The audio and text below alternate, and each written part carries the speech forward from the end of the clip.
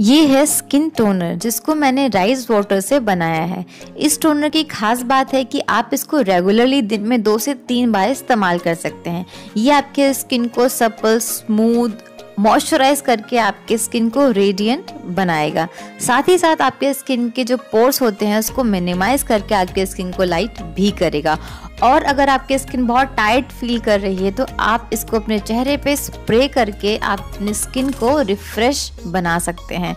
चलिए आइए देखते हैं इस अमेजिंग से टोनर को कैसे बनाने इसमें क्या क्या चीज़ें इस्तेमाल राइस वाटर टोनर बनाने के लिए सबसे पहले हमें यहाँ चाहिए राइस राइस को अच्छे से तीन से चार पानी बहुत अच्छे से आपको क्लीन कर लेना है। अच्छे से मल मल के धुल लीजिए इसको। धुलने के बाद आपको इसको रात भर एक गिलास पानी में भिगो के रखना है। रात भर रखना है। आप ध्यान रखिए रात भर आप इसको भिगो के रखना है। उसके बाद फिर इस तरीके से देखिए मैं रात भर भिगो के रखा था। अब इसको मैं इस तरीके से मैश कर लूँगी। मैश करना भी ज़रूरी है। इस तरीके से आपको मैश करना है, इसको ब्लेंड नहीं करना है।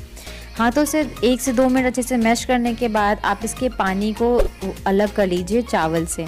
राइस से पानी अलग करने के बाद फिर हमें इस पानी की ज़रूरत है।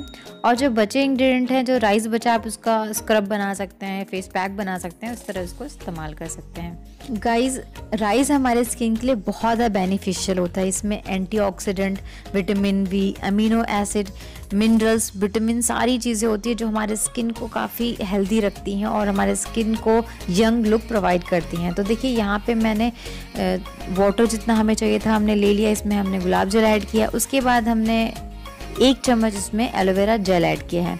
अगर आपकी स्किन एक्ने प्रोन स्किन है तो आप इसमें अगर आपको दाने पिंपल ज़्यादा होते हैं तो आप इसमें ट्रीटी ऑयल की तीन से चार बूंदे ऐड कर सकते हैं।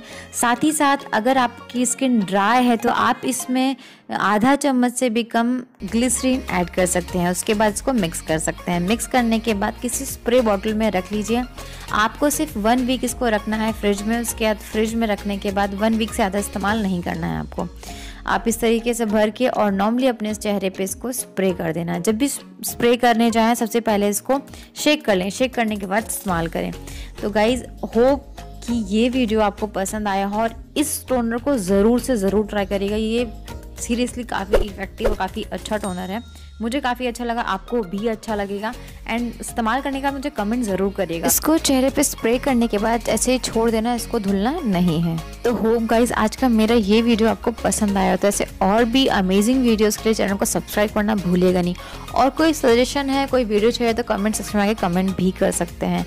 तो और इस टोनर को ज़रूर से ज़रूर ट्राई करिएगा। तो मिलती है अपना नेक्स्ट वीडियो तक अपना ख्याल रखिए, तब तक लिए bye bye love you take care